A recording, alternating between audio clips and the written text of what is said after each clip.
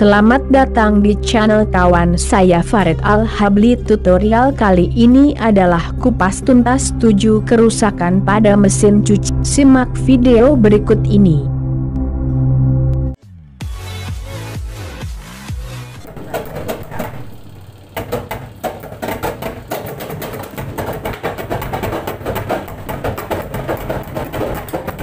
Analisa dari kerusakan seperti ini biasanya pada bagian sil aspinnya rusak atau copot atau lepas langsung aja dibongkar jika mengalami kesulitan silahkan hubungi petugas servis.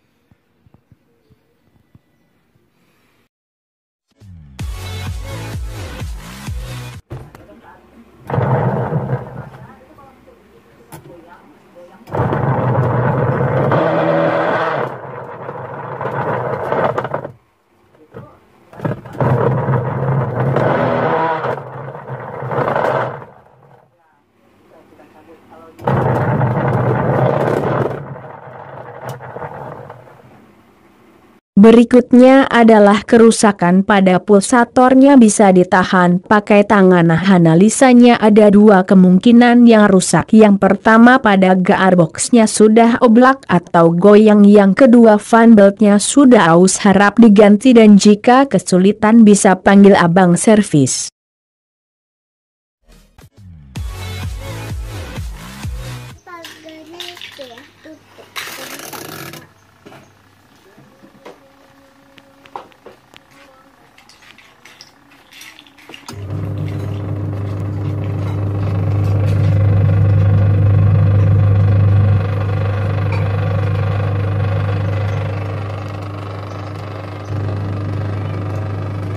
Kita lanjut yang berikutnya putaran pencucinya. Muter terus searah. Oke analisa kerusakan yang begini mah gampang cek timernya. Kalau bisa ganti yang baru aja kasus selesai. Tidak usah panggil tukang servis karena biaya akan ditanggung pemilik mesin cuci.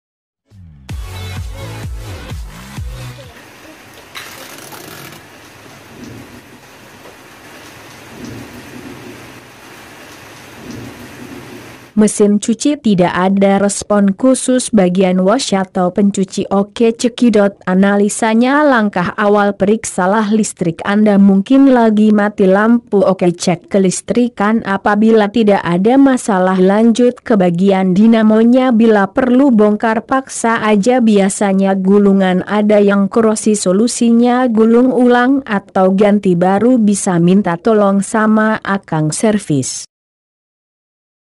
Contoh kasus korosi seperti ini kalau gulungan tembaga masih bisa diakalin nah kalau bukan tembaga ayo pikir aja sendiri.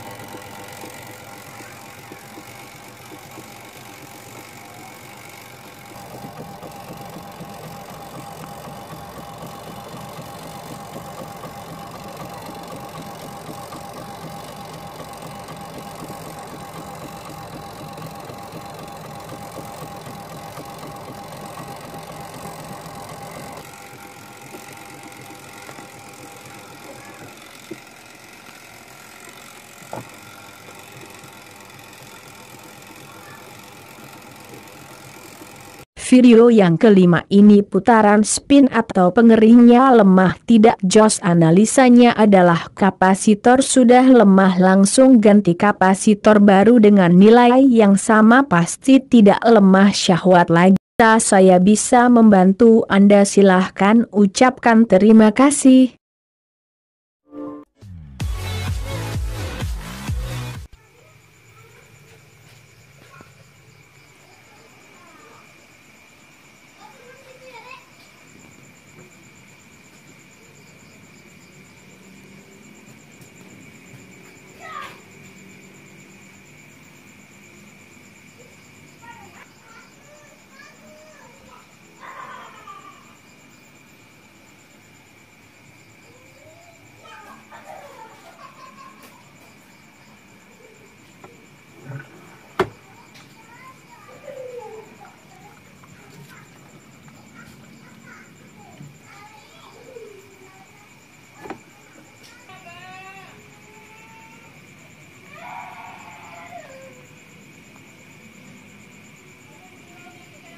Ini kerusakan yang keenam air cucian mengalir terus meskipun kenopnya dalam keadaan tertutup kalau dibiarkan air cucian bisa kering sendiri padahal belum waktunya dibuang.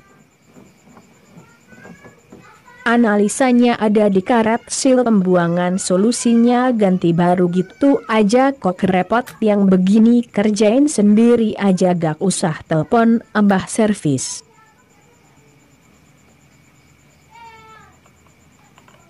Jangan lupa tekan subscribe like ya teman-teman.